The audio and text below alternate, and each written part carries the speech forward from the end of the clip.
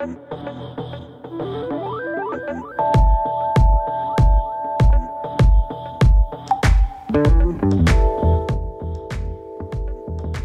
eta gerra. E, Horein arte oso gauza ez ezaguna izan da, ze borrokalarien taldean beti gizonak irudikatzen ditugu.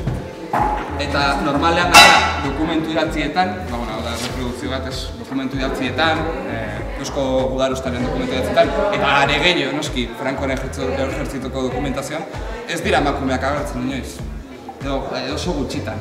Baina, hala ere, geturan, geturako bukerretan garatzen ari garen proiektuan, bueno, ba, geturako ezaugarri kuriosoena da Fortin hauek e, grafiti asko dituztela. Soldaduek, soldadu errepublikanek egindako grafitia. E, grafitiak e, erregistratzeko sistema, erabili dugun sistema da e, labar, labar artea erregistratzeko erabiltzen dugun sistema berdina, fotogrametria digitala, argia artifiziala, guztirik. Eta horrela, saiatu izan gara hori fotografia bidez e, grafiti guztiak begiratzen, da, zen zer jartzen duen, ez? Eta horrela, grafitien kontzentrazio guztia autopak ezin dugu, da? Gure iruña beleia propioa, baina, bueno, pues, para variar, benetazkoa. E, eta izen asko horretzen dira, izen propio asko, Pablo Mendieta, Kapitan Álvarez, eh, Pedro, Nicolás, jartzen du. Gero ere, batalloiaren izena, Batallon Madrid de la UGT. Bere, askotan aipatzen da. Ideologia bera ere, bera zentzematen da, seguren nik hori sozialista eta komunisten arteko nesketa da zen batalloia. En fin, baina, badago, izen misteriotsu bat, eta da Catalina.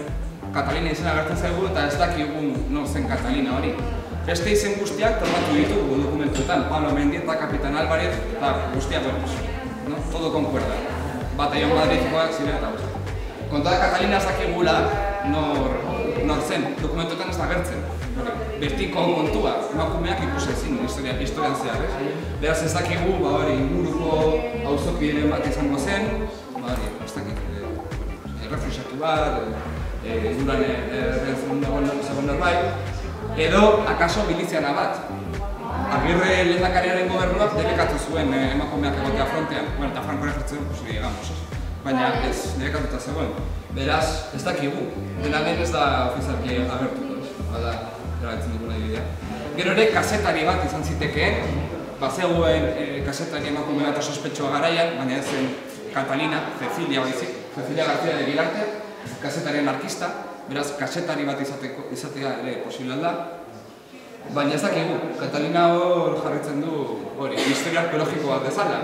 Berez, hemen dago, e, gainera, maiu bat egitean ondan dago. Osea, berez, simbolo komunistatik oso zurbil. Osea, protagonismo handia daukala, ez? Jerarki, jerarkian. Nola dauden banatuta izenak, da bitu. Justo, hili, maiu eta egitaia, Kuarta Kompainia Madrid, eta da batalloia, batallo sozialista bat zena, eta Katalina ja ondoan, eta hemen ere, zeratu ziren Katalina idazten berri? Osea, simbolikoki, eta epigrafian eta ekertzen da, ez? Protagonismo epigrafikoa, no?